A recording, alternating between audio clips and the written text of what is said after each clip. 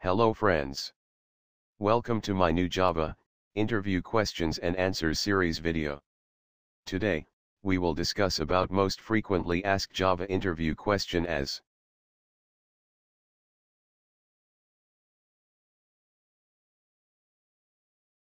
Explain Java class loaders.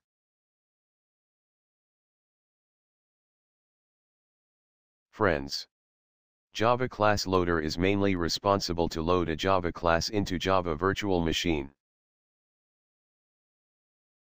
Java class gets loaded into Java virtual machine through other Java classes that are already loaded into Java virtual machine.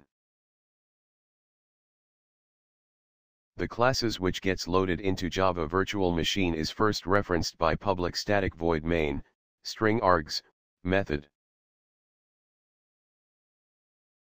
Java class loader creates a namespace for the loaded Java classes. Java class loader throws class not found exception, if it cannot loads or fails to get Java class. Java class loaders are hierarchical in nature. Bootstrap class loader it is also known as primordial class loader. This class loader is embedded into Java Virtual Machine, which loads JDK, Java Development Kit, jars such as RTJAR, I18 jar etc. These jars have Java's core classes which are present in java.star package.